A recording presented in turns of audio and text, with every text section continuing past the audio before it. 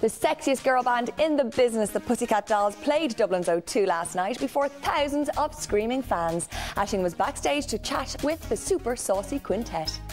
I'm reaching for your shirt. What you want me to do? I'm telling you to loosen up my buttons, baby. But you keep running. Donny, Dog Buddy Cat. I did. I did see a Putty Cat. In fact, I've just seen five Pussycat dolls and they've headed that away. And I'm going to catch up with them here backstage at the O2 for a chat before they go on. Let's call you sexy. And you don't care what they say. See every time you turn around, they scream.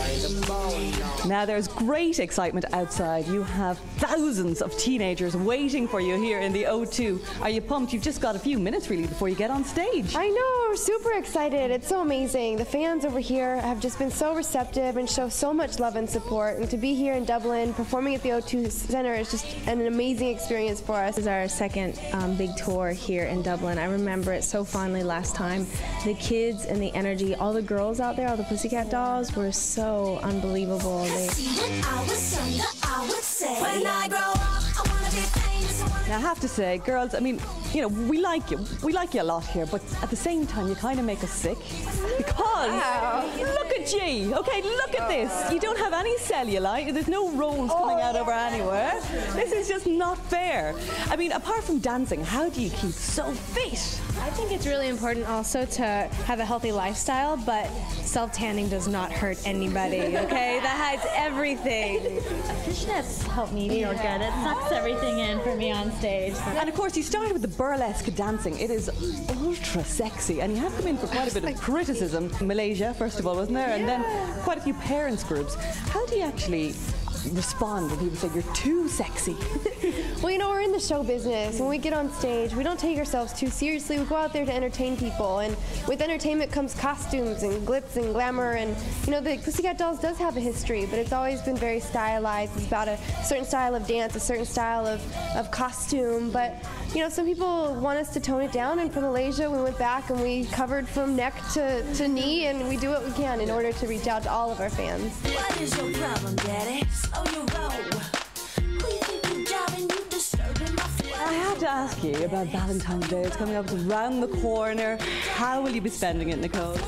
Um, with all the fans in Munich. Um, no, I think I have a special Valentine's Day that I will hope, hope I get to see. But um, until then, I have four hot girls with my date. And we'll be in Munich. And Munich is a special place indeed for Nicole because that's where she hooked up with Formula One world champion Lewis Hamilton more than a year ago at the MTV Music Awards. My dance partner on stage is my boyfriend, so I'll get to be spending Valentine's Day on stage with him. Oh, that's good. What about you two girls? I've actually been with a boyfriend for one month now. And he's coming to see me in a couple days, so I'm excited. Okay, so you're all loved up kittens. Not me. Not you? Well, You are.